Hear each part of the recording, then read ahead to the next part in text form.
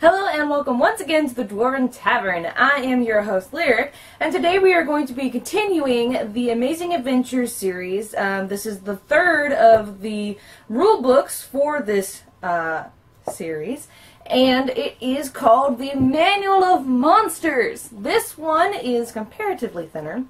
Um, I think it has a lot less to it, uh, which kind of uh, coexists with the whole thinner part of the book. So, um, diving right in, I think this book has maybe, let's see, one, two, three, four different chapters. Um, if you could even call them that. First one is introduction, uh, the complete bestiary or bestiary, depending on how you want to pronounce it. Um, the appendix of monsters of mythology, and appendix two, which is monsters as player characters, which we will get to in a minute. But I think right off the bat, that is a cool topic to cover because you never know who wants to create new monsters and what monsters would be most fitting for your campaign until you actually play it. So that is pretty cool. So, diving into the introduction, welcome to the Amazing Adventures Manual of Monsters. In the original Amazing Adventures rulebook, we offer a complete bestiary full of monsters uniquely appropriate to a pulp campaign, which is very true. They had werewolves and vampires and mummies and the like, stuff that you would find in an Indiana Jones movie. So, secondly, um, that was back in 2012, which we reviewed a few weeks ago, and the game was well received. Now we have moved on to the second printing of that work and given a whole new line of facelift, including hardcover release of our three core books, which this is one, uh, Companion is two, and uh, the original Amazing Adventures rulebook right here is the first one done. Back to the intro. While many of the monsters herein will look familiar, as they have been drawn from other Castles and Crusade sources, all have been slightly tweaked to fit your pulp campaign, and uh, with average hit points and experience values and sanity ratings uh, for each creature added. We have tried to keep the kinds of creatures that feel like they could fit into a pulp world. We will leave it to you, our fans, to judge whether we have succeeded. In addition, you will find here in approximately two dozen brand new monsters. Two dozen seems like kind of a small number, don't you think? Um, which have never been before published for the Siege engine. Some have been inspired by other gaming sources, some by pulp sources, some based on fan requests, and some just came out of the author's twisted imagination. So, um, going to the second part of the introduction, which I find very helpful, which is the how to use the manual of monsters. Normally, when you have a some sort of monster manual, you don't really have a how to use them appropriately and how to uh, what each of the individual parts stand for. This is kind of uh, outlining, which I kind of think is consistent with the Amazing Adventures series, is that they're very very uh, articulate with the details. They are they make sure to underline anything that may have confusion and they have a definition of things that needs definition. So I find that very consistent with this whole series. It's not just uh, this book. So that's very nice. How to read the templates. Um, for example, example, example, number encountered. Uh, this number of creature normally encountered, it is in some cases two list know, two listings exist, denoting general encounters and encounters in the creature's lair. A giant ant, for example, will be found in groups of 10 to 60 in the wild, but in colonies 100 to 1,000 in the nest. So, that's cool. Um, again, that's something that a lot of other gaming systems don't really think of to do. Um, so, because sometimes you do have creatures described, like for example, in D&D 3.5, the Monster Manual, they normally don't list the exact number of encounters. However, in the paragraph describing the creature, it may say that they come in packs.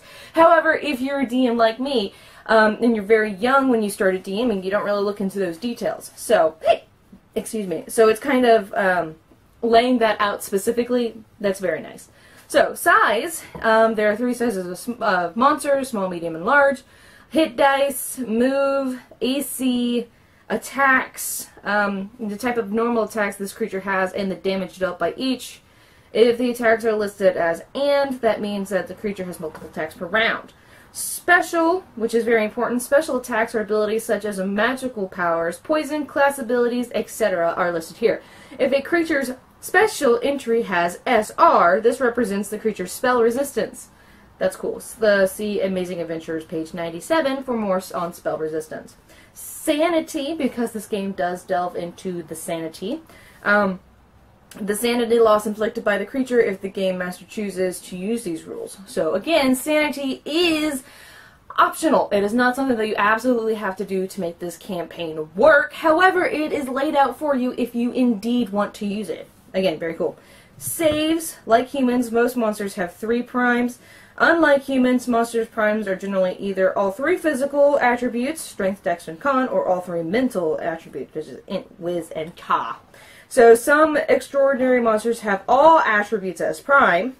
These are designated as PM, unless otherwise listed, because P stands for physical, M stands for mental.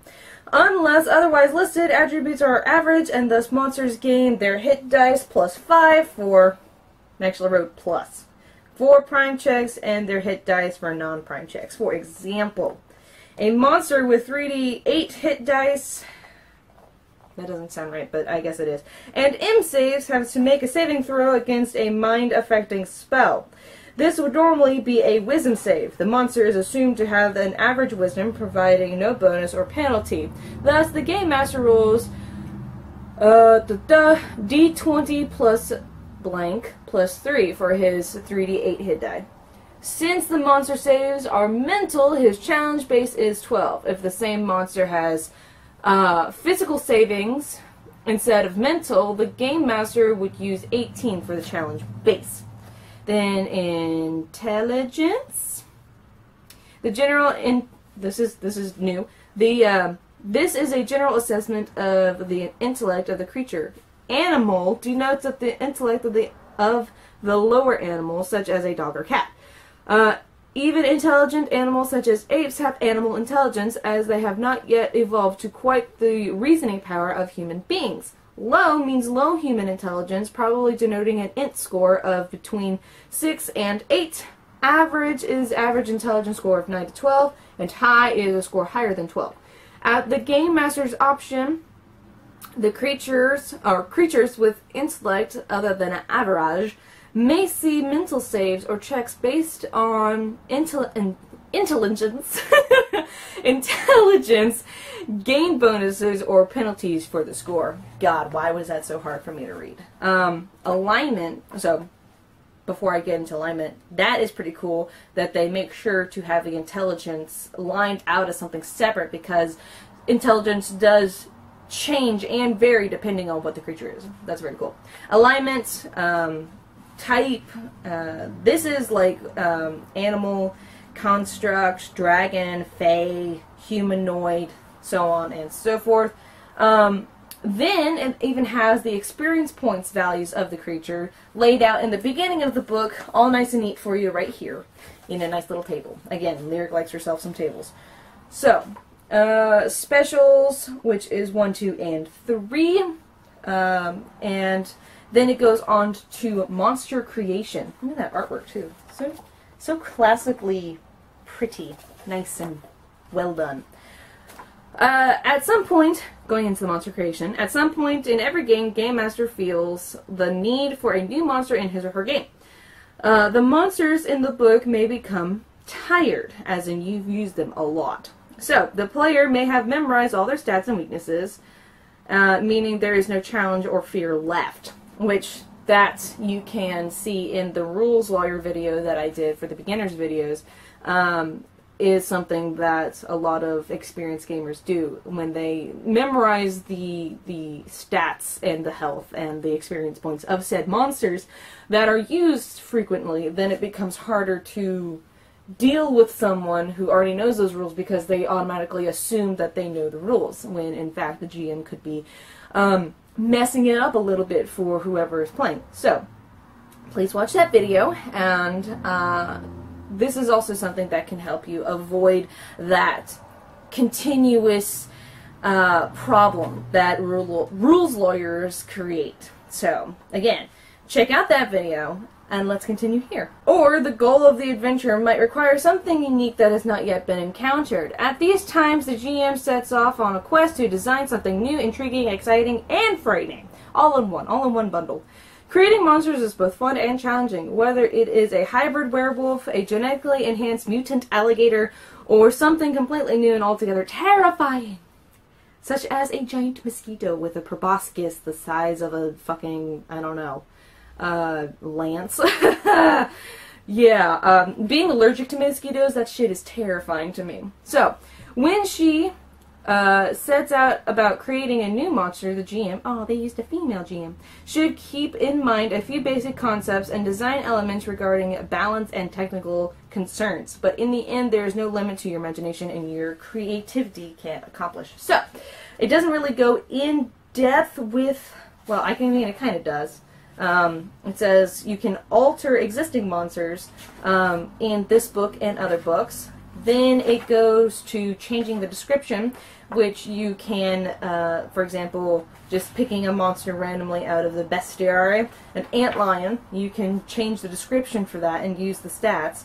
Um, or the unique monster, and this is coming up with something completely different using the monsters layer in the book um, as uh, examples on which to base your new monster off of. So, very cool. Um, it's nice that they kept the creative mind in mind. So, then it goes on to the complete bestiary. I pronounce it that way because they spelled it weird. It's complete, but pleat is not E-T-E, it's E-A-T, so complete. I'm just, I'm just fucking around with this. So, um, then the complete bestiary um, has monsters uh, that you would probably find in the pulp campaign, such as aliens for a sci-fi game, um, the ab abomination of the toad god, which what even? Uh, these horrific monstrosities resemble an enormous toad with six slathering tentacles surrounding the head. Slathering? Is that really the right word they should have used there? Slathering. I feel like that's actually pretty appropriate for a toad.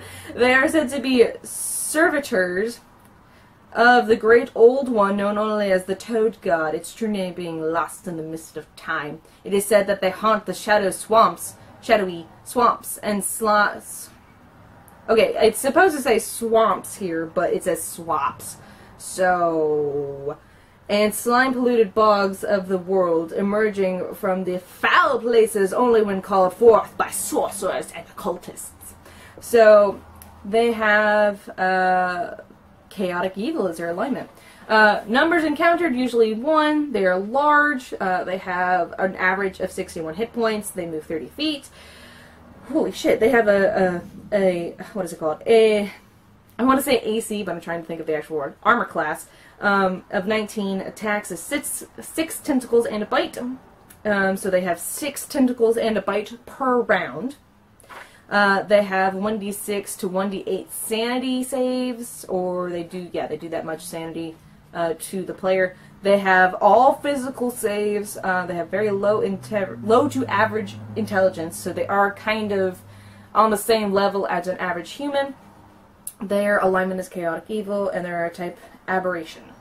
And one uh, 1950 plus 10 is an average of 2,500 experience points for defeating these monsters because they are pretty badass. Then they have specials, which is alluring voice, constrict, damage immunity, horrific, horrific, horrific laughter, improved grab and regeneration, which is all defined even further in the side right here until it goes into the next monster. So, um, that is pretty much how all the monsters are laid out. Very seldomly do they have a picture of the monster, but this is the, the toad right here. Abomination of the Toad God. I might have to use that in a different campaign. We will see, I'm sure. So, um, it does have pretty average monsters.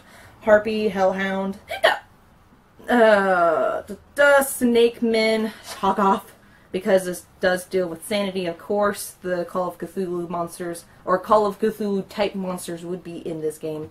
Uh, succubus, um, uh, vampire, uh, spiders, the like. Uh, those are can all be found in the complete bestiary. It's going to bother me.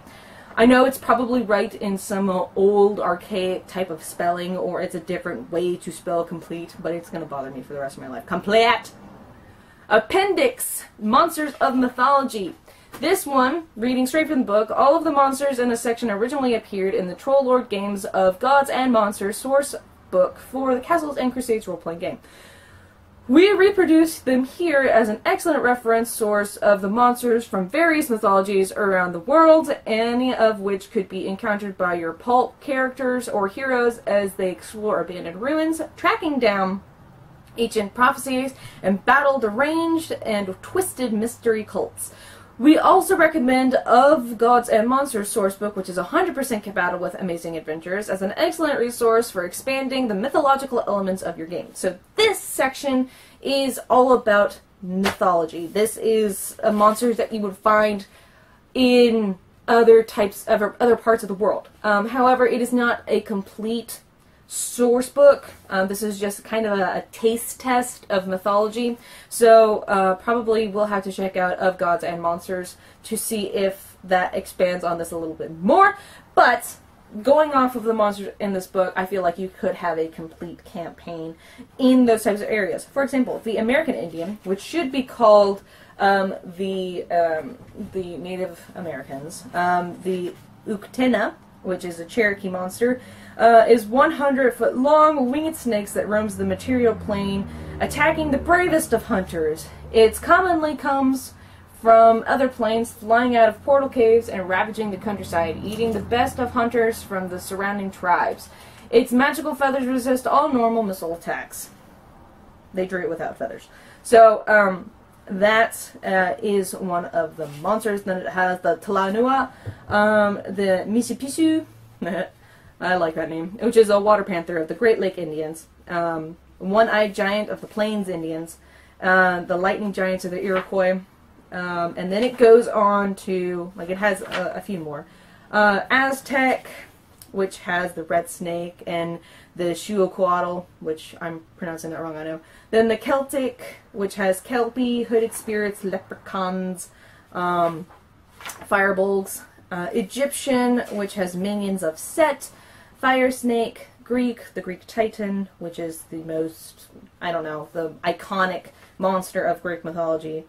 The Hecatoncheir, which I just butchered the shit out of that word, I'm sure, which is a hundred-handed one. Um, Cerberus, of course. Um, India, which is Vertra, Gold and Snake Dragon. Okay, getting up on my high pedestal here again. Lyrics number one rule. I'm sure you can read it with me. Always include a pronunciation guide. Number one rule. If you are creating monsters or putting monsters in a different culture in your series or creating names out of the wazoo for the love of all that is holy and mythological, please put a pronunciation guide in the book or underneath their name because like me, I guarantee you there's going to be butchering of the names and I think that a Garuda, oh they have Garuda in here, um, I did not know he was Indian. I thought he was Native American. But, no, I knew that he was Indian. I was just combining the two different types of Indian. So, anyway, um, please put a pronunciation guide in the book because I can guarantee you there's going to be some mispronunciation. And if the if the DM or GM mispronounces anything in the game, it's going to sound funky and it's going to kind of break the fourth wall. At least it would for me. So then it goes on to Japan, which is the White Tiger and the Gashadokuro, which I always pronounce it the Odokuro, but Odokuro. Either way, it is the same thing. However, one more reason to look into the mythological creatures on your own time. Um, let's read straight from the Gashadokuro book. Um, uh, as you may or may not know, I was a Japanese language and culture major in college, so I have taken mythology of Japan classes before.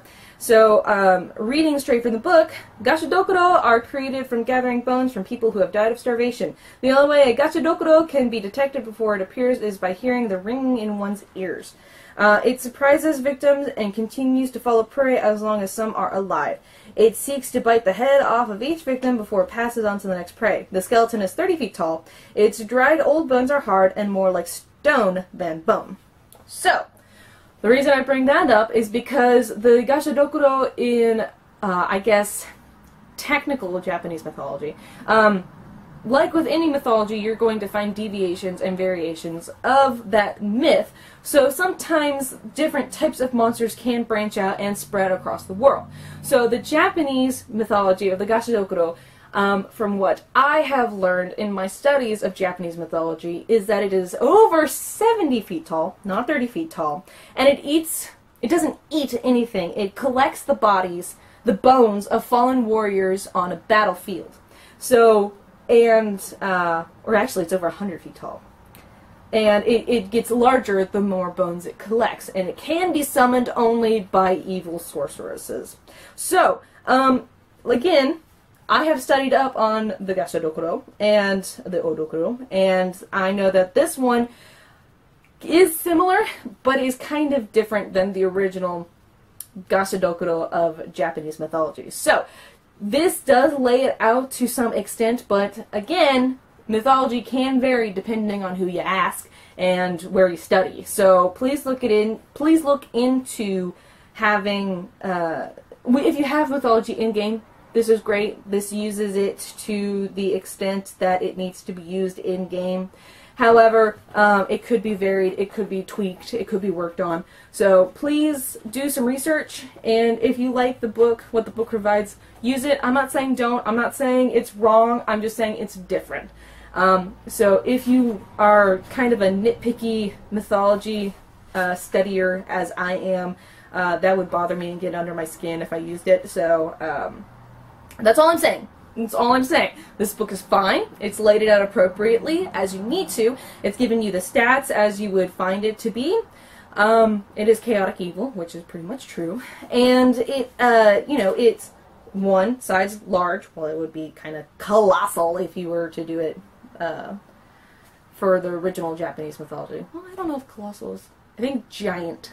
I think giant would be how big it would normally be. However, again, this is the Gashadokuro of the Amazing Adventures world, so it could be different from our world, which is completely acceptable. So, moving on, then it goes on to Norse and Roman mythology, and then second appendix, stepping off of my pedestal.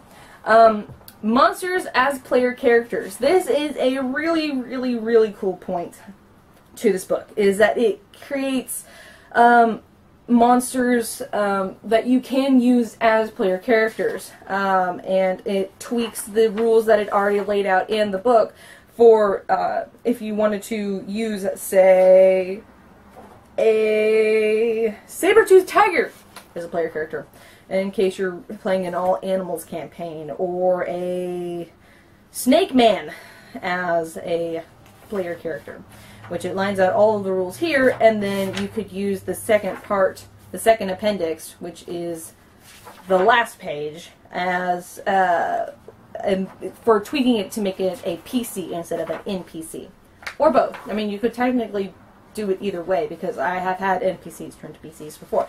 So that is the book.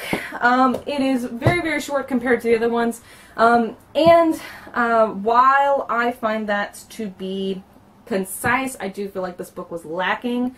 Um, I feel like even though these characters or these monsters are trying to keep the pulp game in mind, like dinosaurs or wild boars or birds of prey or uh, oh, the abomination of the toad god. They do, I feel like they do lack monsters, and I feel like more could have been included because pulp is a genre that is pretty much made up by the person writing it. So, uh, while I do find this book lacking, I feel like it does stand on its own. Um, there are more monsters in the core rulebook, which I think they are very similar, if not the same monsters. So you probably could, you don't even have to get this if you wanted to just play the game tomorrow, you could just buy this book and have the game set out. But if you're more in depth for your monsters or you want more monsters available to you, you can totally get this book. Um, so that being said, I did find a few a few spelling errors, and I uh, do find this book lacking. So unfortunately, breaking the streak of 5.5 uh, 5.5 5 out of 5 axes, this book is going to receive 4. So, The Amazing Adventures Manual of Monsters is a 4 out of 5 axes from the Dwarven Tavern. Um, definitely check it out if you're curious about what type of monsters could be in a complete bestiary. Um, what type of monsters you could use in your pulp games, like gargoyles and herd animals. Um, just a reading from the book. There's hags that you can include, ghosts, genies, fishmen, the like elementals, eagles, blah blah blah. So um, it does have a very wide range of monsters. I just feel like more could be included, just because I like the individuality of monsters and reading about monsters in the book. And the description of the monsters, while it is extremely in depth, I feel like it could be even more so. Um, but I digress. That was the monster or manual of monsters I keep wanting to say Monster Manual, but um, the Manual of Monsters of the Amazing Adventure series done by Troll Games. Um, this one is not done by Trey Jason Vey, but I think it might be. He just doesn't have his name on it. So, please check them out at trolllord.com. I know I said in the past it's trolllordgames.com, but it's just Trolllord or trolllord.